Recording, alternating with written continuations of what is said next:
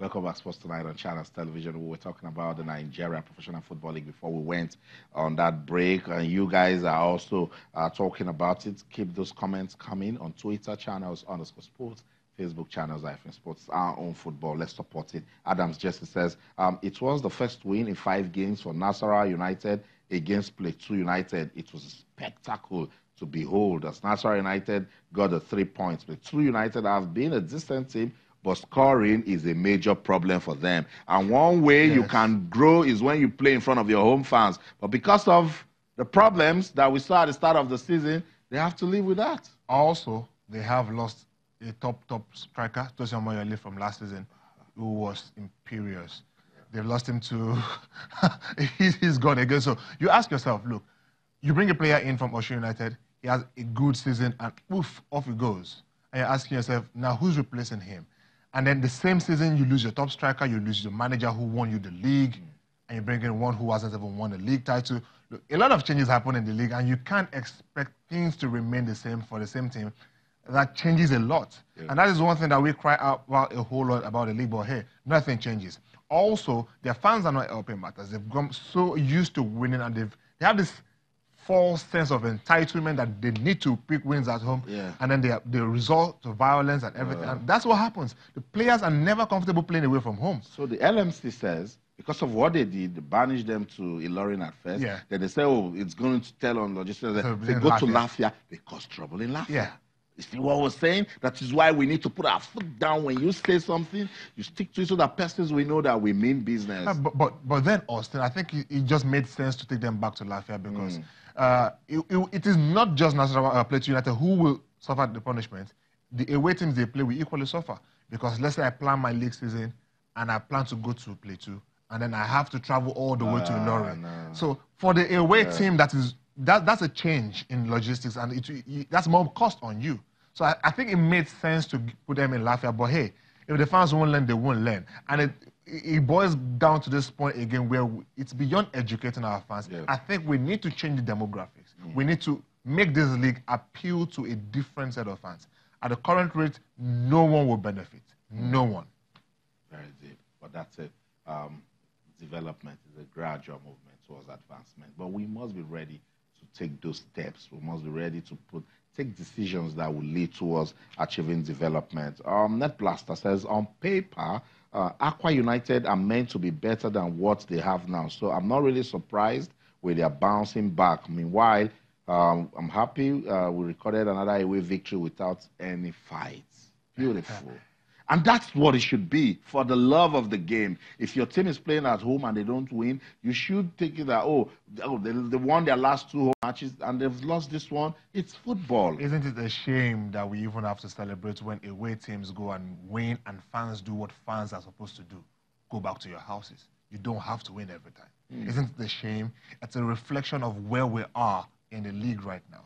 When teams lose at home, it's no problem. Go home. Yeah, you are aggrieved, but you don't have the right support to your to, team more to start I mean, winning. you don't have the right to, to incite violence. Just go back home. Yeah, you are aggrieved, but show it to the to the players. They will come and apologize to you. But players. don't fight them. don't fight the officials. Don't cause trouble. Yeah. Don't destroy things. Just go mm. home. But here we now have to celebrate the fans for doing what fans are supposed to do. Come on. No.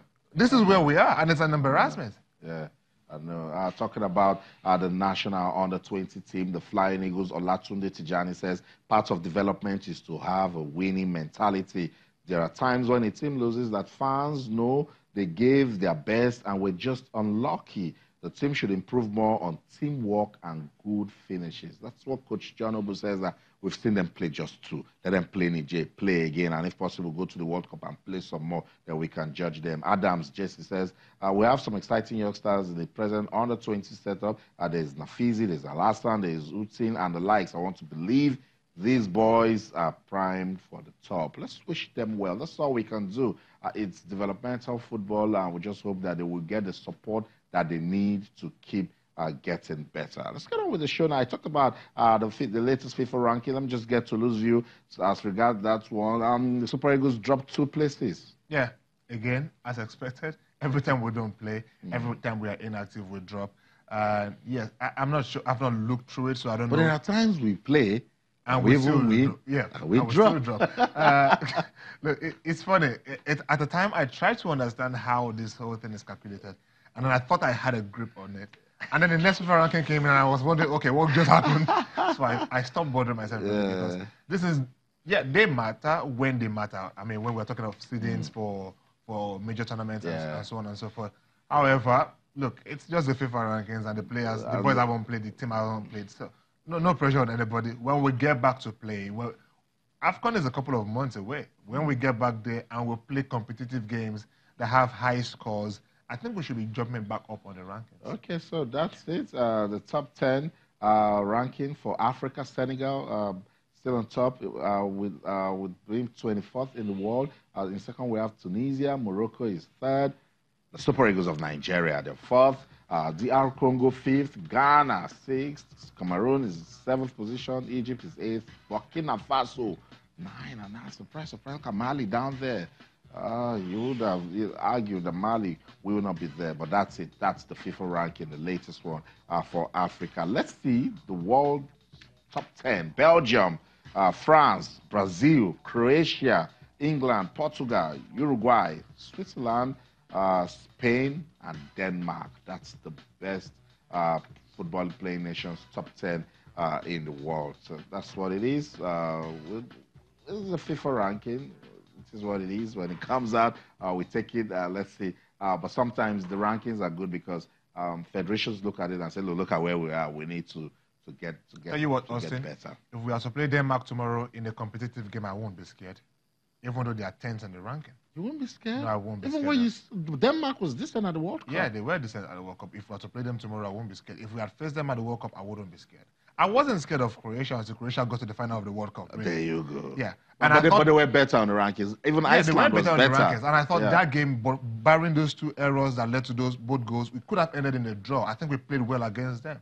So really, the rankings aren't the best Let reflection of how you good a team what the ranking does. The, the ranking works um, in a very funny way. It gets you and I talking. Yeah. More pundits talk Yes. about it. Analysts talk about And it. And that's why I hate it. And, and then, and then those teams that we're talking about, for instance, I was shocked to see Mali ranked 10th in Africa. yeah. You know, I was like Mali, and I said Burkina Faso. So Mali looks back. I said, Did you hear what that guy said about our football? so we need to keep, keep talking about it. Let's wrap up the show this way. Let's you know uh, that Alexander Ceferin, uh, that's FIFA's um, UEFA's uh, president, has been re-elected unopposed as president as president of European soccer body UEFA for a four-year term at an annual congress in Rome earlier today.